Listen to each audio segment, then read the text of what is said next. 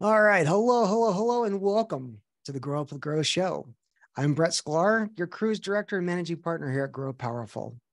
And just a reminder about this show, or if this is your first time, we know that there's a lot of marketing podcasts and videos and shows that are out there, and that's awesome. This is kind of one of those, but kind of not one of those. We really want to help give growth marketing uh, revenue and strategy ideas to the CEOs that are out there that are trying to figure out their marketing mix or their sales and marketing mix or their go to market strategy.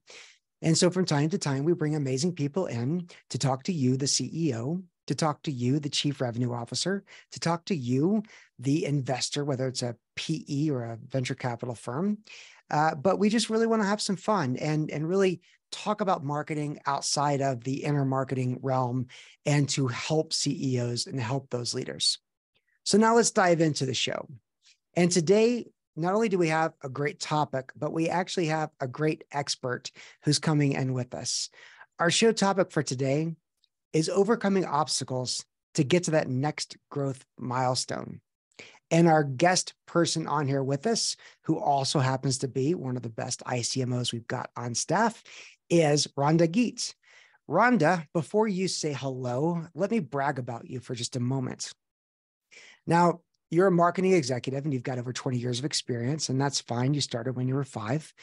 Uh, you've got uh, you know a lot of success in helping at least two companies to get to that acquisition phase, which we're all hungry for, uh, and acquired by multinational companies, which is pretty awesome because when you're talking about acquisitions, you want people to acquire you that have the money. Uh, and so I'm sure you did a lot of work there to find that product market fit. Um, you even helped a B2B SaaS company, which is really important for this audience, to get to an IPO on the New York Stock Exchange. That's impressive. Uh, but wait, there's more. You've obviously got some great experience with early stage companies all the way up to Fortune 150. So you've seen really both sides of the growth momentum, growth phase, um, you know, perspective. And you've got that experience within SaaS, manufacturing, healthcare. I know healthcare has been a really big area for us lately, um, connected devices, and much more. Uh, so with that, you know, I'll shut up and I'll let you introduce yourself, Rhonda Geidt, to the world of the Grow Up with Grow show. Well, thank you, Brett, for having me. You make me sound wonderful, and thank you for knowing that I started at age five. Um, and uh, I do, I do love marketing, and I love working with a variety of different companies and all different sizes, and really helping companies accelerate their growth to get to their next milestone. And I am excited to be part of Grow Powerful. Nice, awesome. Well, and we're very excited and very lucky to have you on board. It, it seems like, um, and this is bragging about grow the company for a minute. We've really done a great job of of finding amazing talent, and yourself uh, and the people that were a part of the original crew and the most recent cohort of of interim or fractional CMOs. It's really um, speaks a lot to the growth of the fractional marketing leadership industry in B2B, uh, but also the fact that, and it's something that I've been writing about, eh, some of the best B2B marketing leaders that really have the proven track record don't want to go work full time for a company again. Uh, they'd rather do fractional or interim work, interim work and really help people out. So we're lucky to have you here. Uh, we're lucky to have you as a part of Grow. Um, but I got to ask, um, what is your superpower when it comes to marketing or growth um, that you have that's really helped you, you know, leap tall uh, acquisitions in a single bound? yeah, I think my superpower is bringing a fresh perspective to companies who are trying to get to the next growth milestone. Every company, regardless of their size, has a milestone that they're trying to reach. Mm-hmm. And sometimes it's hard for companies to get outside of their industry. They're very focused on industry trends, what's going on with competitors. And sometimes a fresh perspective can give that spark of growth that uh, they have been missing or that they're struggling with. And an example of that is I was in the video games industry and then transitioned over to the B2B side of things. And in the video games world, you use gamif- gamification to mm-hmm. help make a game stickier, to get users to use the game more and play the game more. Um, with B2B products, you started seeing that kind of integrate itself into products. Asana is a great example of that. And I think, you know, marketing fundamentals are, are the same across industry, but just having that outside perspective and a different perspective to bring to a company, I think is my superpower. Nice, nice. And and yeah, that gamification, um, it's funny. That's sort of I feel like led into one of the key tenets of product led growth. Uh, and so I can see where your gaming industry experience, where gamification and gaming are, are much more synonymous, leads to the gamification of how to adopt new users, new buyers, and things like that. So I didn't think about that before you mentioned it, but um, I can definitely see where that's a superpower of yours uh, in today's world of product-led growth, of community-led growth, of you know people bringing other people along the journey to win, you know, customers, to win communities, and win ultimately business. That's very cool. So we're living in a world. So speaking of games, you know, it, it, feels like 2023 in the business technology world is like an episode of uh, The Last of Us, right? Which I know is like a, a really popular show right now. Love it's, that show right now. it, it's kind of a zombie show, but it really is more about the human condition and and and you know how that works. Uh, but 2023 kind of feels like that in certain ways, where every week or every month is a different episode that is a completely different experience. And it really is about survival. And so, you know, I asked this question to you uh, with, with 2023 being this weird world we live in, especially in B2B technology. What have you seen to be a winning formula for marketing leadership in 2023? That's a great question. 2023 is is this crazy whirlwind of who knows what's going to happen. It's a little less crazy than 2020, but yeah. it's not back to normal in any way, shape, or form. And I think a formula that is successful for marketing leadership is to tie it into all aspects of the business. So don't think of marketing just in marketing terms, but what are the business objectives? And you know, you need to do that in any economic climate. I mean, mm-hmm. to be successful. But sometimes when things are going really well, that can kind of fall to the wayside. And yep. with 2023 being, um, you know, starting off kind of conservative and companies wanting to see that their programs and what they're investing in is really moving the needle and tightening budgets and having to prove everything out over and over and over, not just, yes, we want to do this, but this is is working. Is it working fast enough? Is it working efficient enough? Mm-hmm. Um, and I think sometimes it's it's easy for marketing to say when you're at the table with the other executives, like, oh, we need more budget because if we get more budget, we can get more pipeline and, and fill the top of the funnel. But if you're looking at the overall business objectives, sometimes marketing needs to take a step back and say, you know what, we need to take a portion of the budget and put towards this great product opportunity that just came up for an right. example. And if we do this, we can gain more market share and we can accelerate into a new ICP. And really taking that step back and looking at what's best for the business instead of what's best for marketing is something that I think will be the winning formula for marketing and businesses in 2023. So, if we talk about like recent learning, so that's obviously, you know, what the world could look like for 2023. I love the example you gave of, you know, it's not about marketing, it's about overall growth. And and I think that's sort of a key point of this show and and and the show in general is it's not about marketing and not about marketing tactics it's about growth and it's looking at the bigger picture. So your example of maybe there's a new you know ICP or ideal client profile uh, of of this you know untapped market that's over here, and with a few minor modifications to a product or a few minor modifications to landing pages uh, or you know different email lists to go after there's a new market opportunity over there that we haven't tapped into and it requires some product uh, focus. And so and I, I truly feel like the idea of a fractional or interim cmo plays really well for CEOs there because it's not the ego, it's not the protection of the budget, it's not the well, I didn't think about it over here in my shop, and somebody else is going to get that money, and so therefore there's that that pissing match of budget. With a fractional interim CMO, there's not that ego driving a budget or the the protection that's driving a budget, and so I love that example. So let me ask you another question, and it might be um, answered in a similar way to answering the the sort of winning formula in 2023 think about something you've just learned. And so something you've just recently learned or something you've just recently done that's been um, uh, an incredibly effective marketing strategy um, that is different or new that you've learned just recently.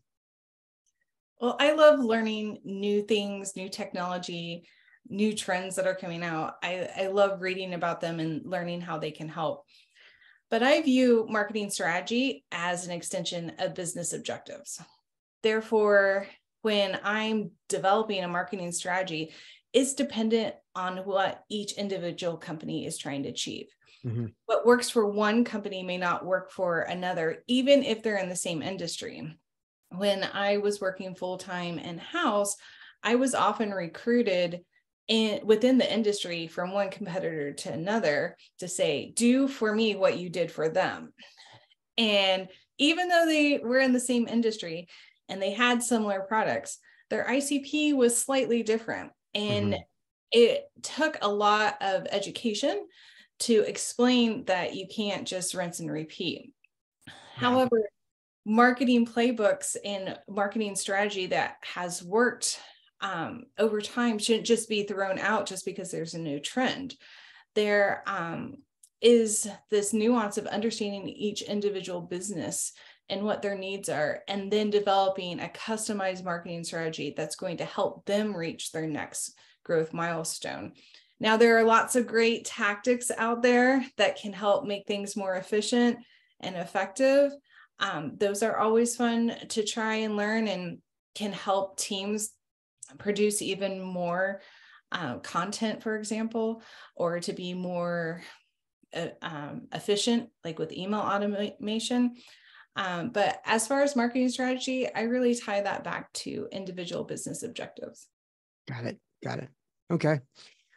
So then, uh, you know, Rhonda, let's let's go.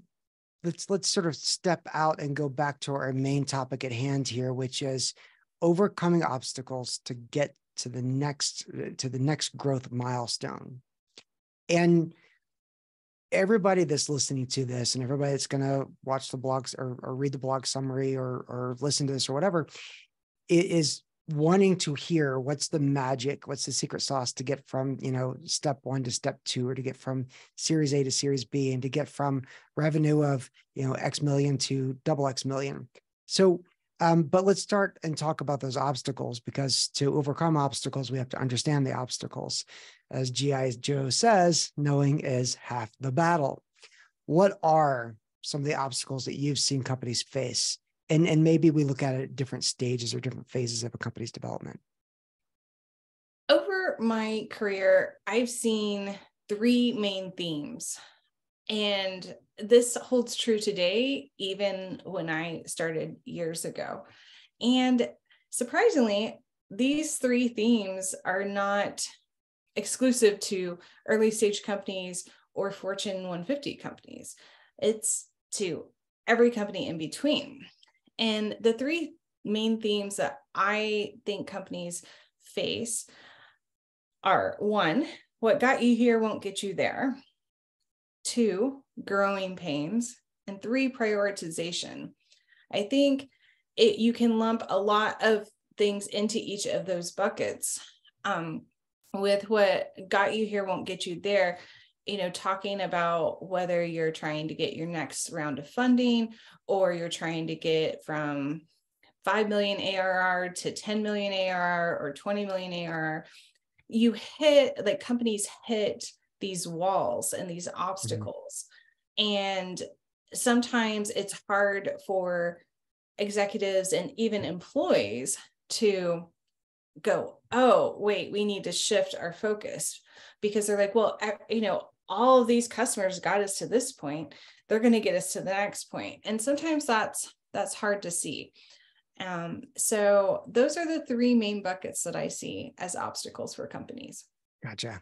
And um, so it's what got you here won't get you there.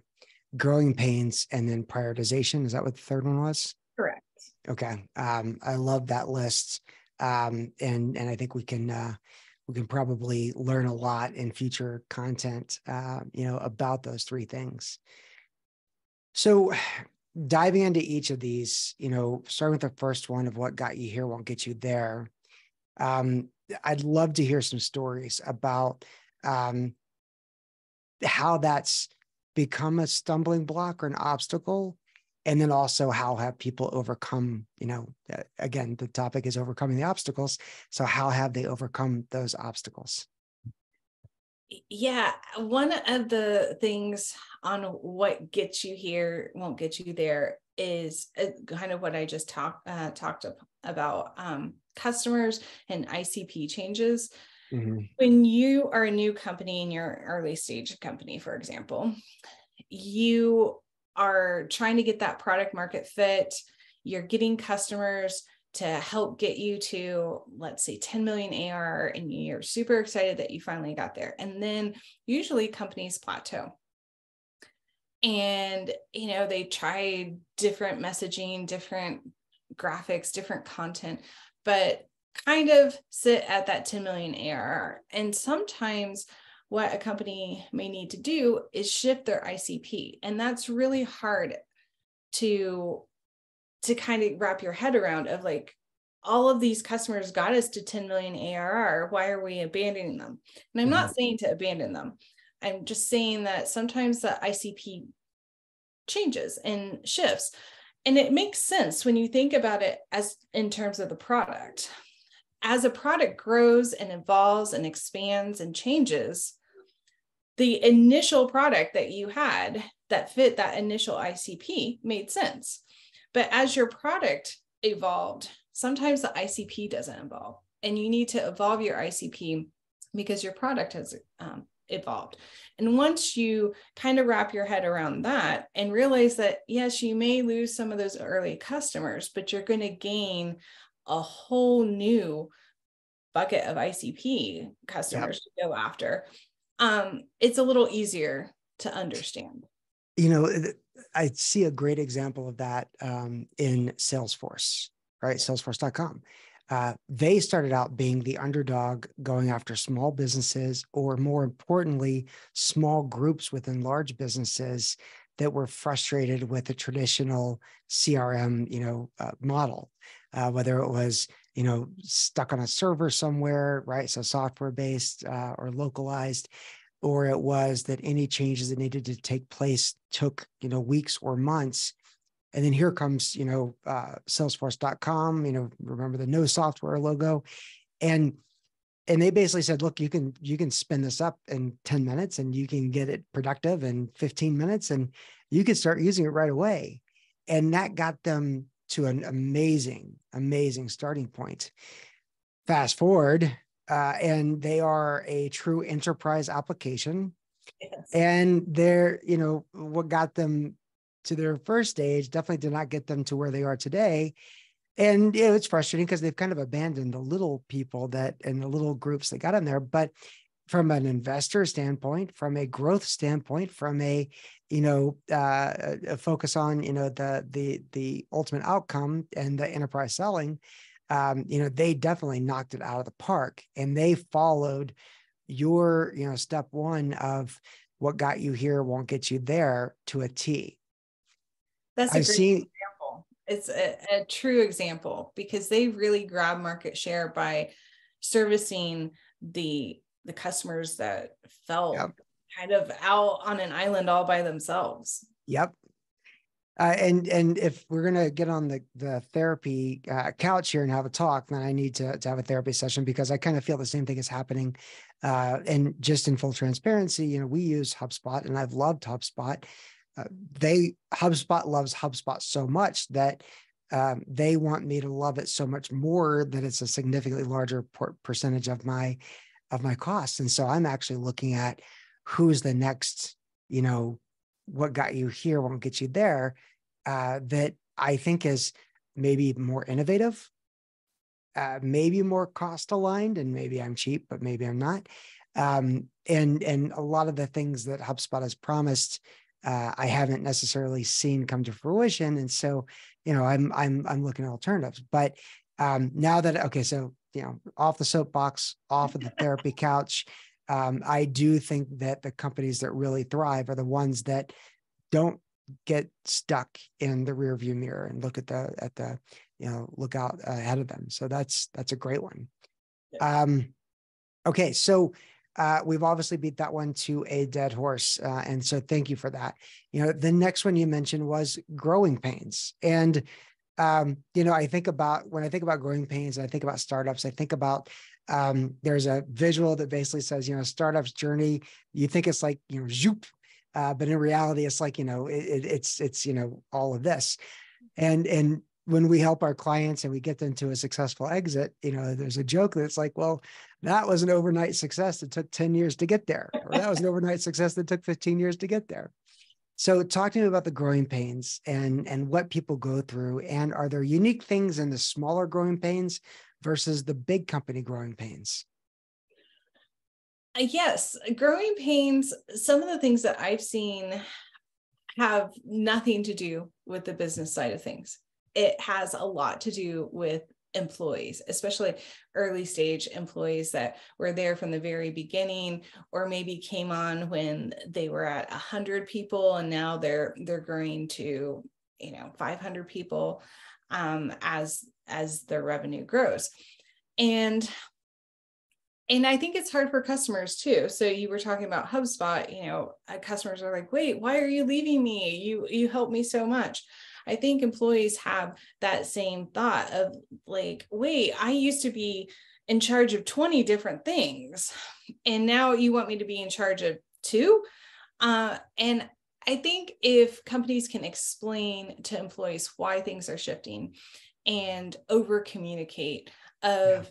yes when we were smaller we needed you to run uh, wear multiple hats but now as we grow if each person focuses in and is laser focused on their area we can grow more rapidly going back to for example that product opportunity uh, with budgets if you see a product opportunity and you have your your product team focused on 20 different things you're not going to grow that product as quickly as if they were focused on a couple of different things. Yeah. And I think that's hard for employees, especially in today's day and age where you see LinkedIn posting these companies laid off thousands of employees, X percentage of employees. Employees want to show value and that they're um, bringing value to the company so that if the company has to go through layoffs that they're not laid off. And sometimes they feel taking away that responsibility yeah. it's really hard. In larger size companies you kind of feel the same way. Um you know i i worked for a fortune 150 company and it um it would shift and innovate on a regular basis which i thought was amazing uh, for a a large you know 30 plus billion dollar company to really take the time to go you know what? We're seeing the market shift. We need to shift our divisions and our structure. And that is really hard for companies um, to explain to employees of like yes we said six months ago this is what you're focused on but now we're changing because we're seeing the shift. Yeah. um, but again it comes down to communication and explaining this is why we're we're shifting and what we're focused on. And it's contributing back to those business objectives that we've been talking about this entire time. And this will help be uh, make us successful and help us reach our goals.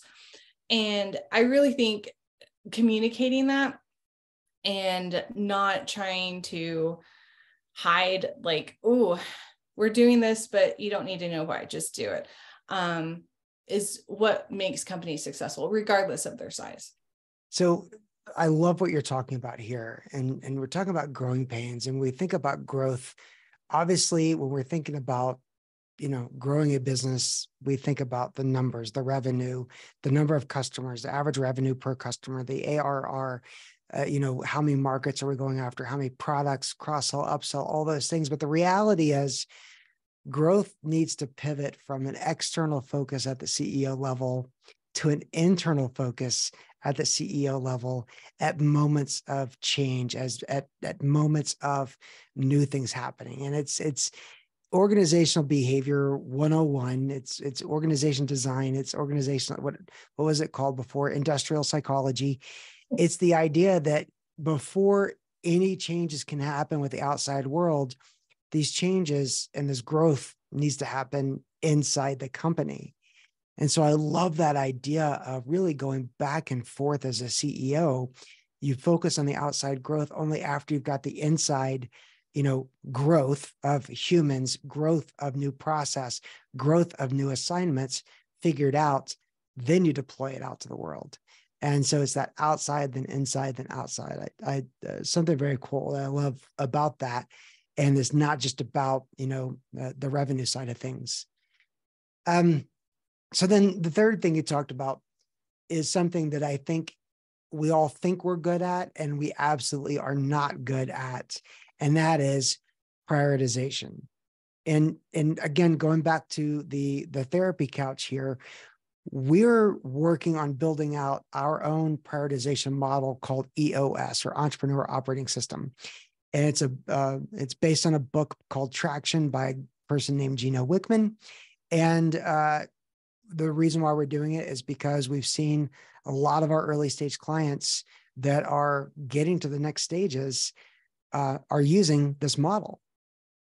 And it's because it forces prioritization, not just in a CEO's head, not just in an executive team's meetings, but across the entire company.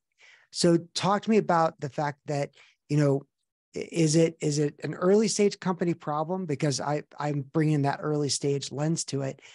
Or is it something you're seeing as a problem and an opportunity and an obstacle to overcome with larger companies as well? Yes, I did a survey on this on LinkedIn, on my LinkedIn page, asking some things that executives were struggling with. And prioritization came out as number one, like first really? most.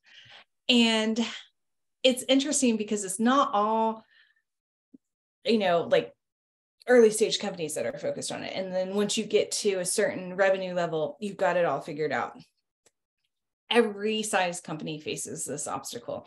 And we even face it as individuals. If you think of our lives of balancing work and life and friends and family and everything together, it's hard to prioritize.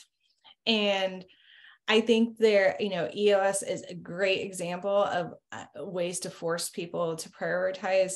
There's um, OKRs, there's lots of different mm-hmm. ways that companies can use tools to prioritize um, and it's hard especially when you're you're trying to get to that next growth milestone to put a stake in the ground and say hey we're going to go for these three priorities and the shiny objects that come up that might sound good we're we're going to still stick to these.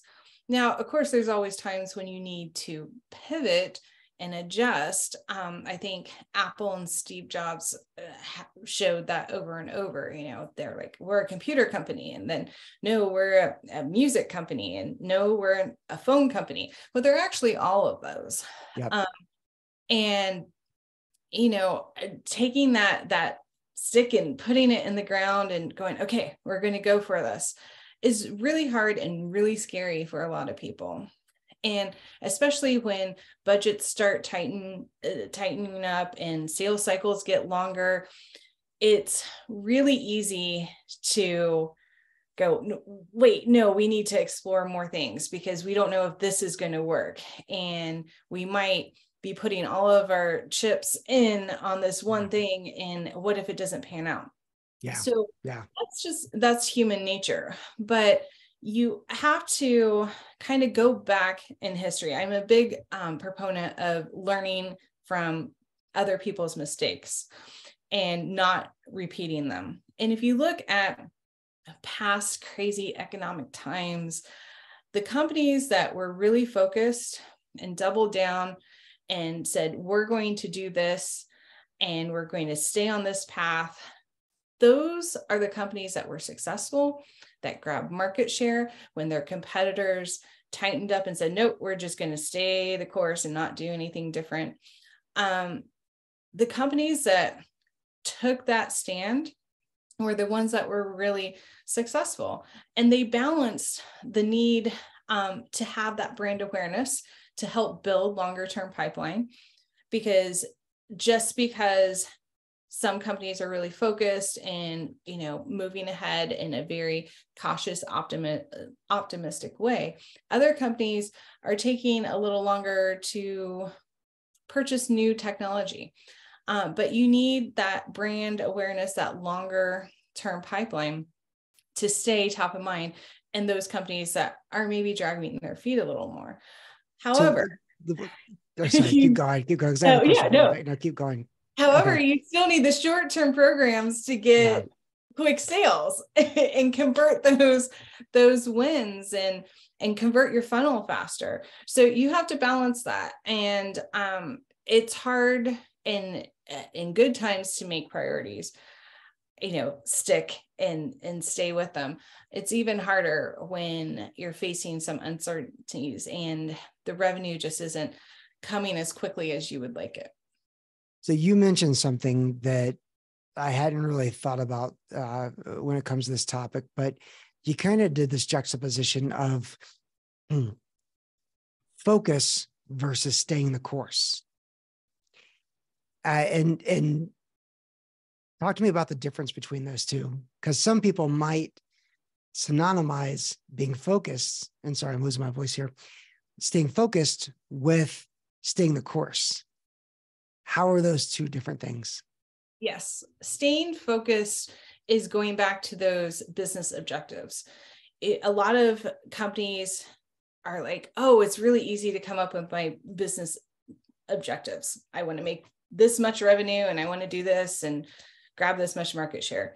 But the companies that really push and poke and prod on their business objectives and really go through the hard lesson of, of coming up with those strategies and putting them to the test. When you have that focus, uh, and you've gone through those stages of developing your company, it helps you stay focused. And those business objectives, if done well, help guide you when things get foggy. I live in the Bay Area, so you know, we deal with fog. So when you have those um those foggy times that you're trying to get through, having that focus and that that north star to go after really helps keep you on your way. However, staying the course like you said, some companies may be okay, I made this SaaS product for this particular company. For example, I'm working with one company that um, they started out as uh, helping tutor in different languages. And they built a platform for their tutoring services. They found that a lot of small businesses love their platform to basically use it as a CRM and payment process and email platform and notification platform. Hmm. And they came upon this new market that they weren't even planning on on going after. And by having business objectives that were were great for the business, but mm-hmm. not just tied to translation services or learning new languages or tutorial services. They were able to add this offering on and create another revenue stream for them.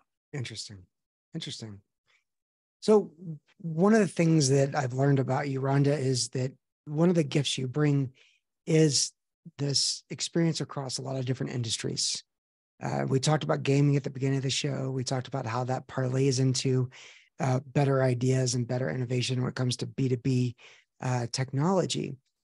Um, having that purview across a lot of different things, you know, how do you feel companies benefit by having somebody like yourself that comes from outside of an industry or has that bigger, broader industry mix, um, you know, to help out in an executive position?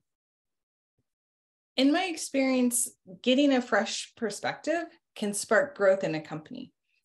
But I also understand that CEOs and other executives may be a little like, oh, you don't know our industry, you don't know the nuances of it. Mm-hmm. In working with multiple industries, I get that. There are nuances to every industry. When I started in gaming, I didn't know anything. I'm not a gamer. Um, but I love learning. So I threw myself into the gaming world and learned everything that I could. And I did that on my own. I didn't do it on like company time and said, "Oh, I'm I'm getting paid to learn." I just love learning about new things. Mm-hmm. When I went into manufacturing, same thing. And then in manufacturing, you learn, oh, you're, you're servicing 40 different industries and need to market to 40 different ICPs based on what you're offering. So you have to learn those industries as well. And I think if if companies are like no we need someone from the industry you kind of get into that that little bubble of the industry and sometimes don't don't see an opportunity that's right in front of you. Um, i also know that sometimes companies have taken the risk and brought someone in and you know they don't get up to speed as quick as they like and they miss some of the nuances of the industry. So i think it's really finding someone that loves bringing a fresh perspective yep. you know there's this um this old article that um a friend of mine just reminded me of on a call a couple weeks ago of um i'm a big sports fan of, of all kinds of sports and um, the America's Cup sailing racing, you know, they one of the teams brought on a, an advisor, a consultant from outside the industry. He was from the cyclist world of bicycling. Okay. Hmm. okay. And he came on and you know was getting to know this team and was like, why are you using your hands to to use this and to to move this boat forward why wouldn't you use your legs when they're stronger and then that frees your hands up for other things and it was it, it's the same you know wheel cycle movement right just a hey this is right in front of you and you you don't see it because you're so in tuned with your industry. Right right and yeah. yeah sometimes those little shifts in perspective can give you the edge that you need to break through that yeah. that plateau that you're at. And that, what a great perspective and what a great example of you know bringing a cyclist into the sailing world and showing that uh, when you're trying to spin things really fast and your legs are four times stronger than your arms unless you're you know arnold schwarzenegger that you know that it it you know it can work out really well um, I, I, love that example uh, and it also goes to show that companies aren't alone. And, you know, I think one of the reasons why people bring us, you know, and I'm talking um, as, as Grow Powerful, you know, bring us in is to get that outside perspective. And, you know, we, we spend a lot of time understanding industries, but I spend a lot of time finding more personality match uh, with a CEO or executive team than other things when helping identify who the right iCMO is with an opportunity or where their stage at their company is or what kind of insights they're looking to gain because it's not just about doing the marketing motions, it's about bringing fresh perspective and fresh examples. And I love that cycling example with uh, to a sailing team, and I'm going to probably use that uh, a hundred times. So I'll, I'll I'll hit you up for that article, and we'll put it in the comments here because I think that's a great um, a great thing. Well, I know we're we're up on our time here, and I know we we sort of gone uh, a little bit deeper, which I love, and I hope that uh, everybody here loves it as well. Um, that's really the show of us talking about, you know, uh, overcoming obstacles and how do we get to the next growth milestone. Rhonda, Rhonda, thank you so much for being a part of this show. Where can people find you? People can find me on LinkedIn. I pretty much live on it day and night because I do it for my day job, but I also do it for a volunteer group that I'm part of. Um, so look me up on LinkedIn. Perfect. All right. Well, if you like this show, be sure to give us five stars on Apple Podcasts, Spotify, or wherever you're listening to it. Visit us at growpowerful.io and subscribe to our blog. Subscribe to our newsletter on LinkedIn. Search for us on YouTube. Anywhere, everywhere you are, we could be there too. This show is brought to you by Grow Powerful. Grow is a team of battle tested and proven fractional CMOs for the innovation economy. We've assembled some of the greatest growth minds in all of B2B technology and deliver them as a team of incredibly capable and proven iCMOs. Thank you again, Rhonda, and thank you everyone for such an amazing show. Have a great day.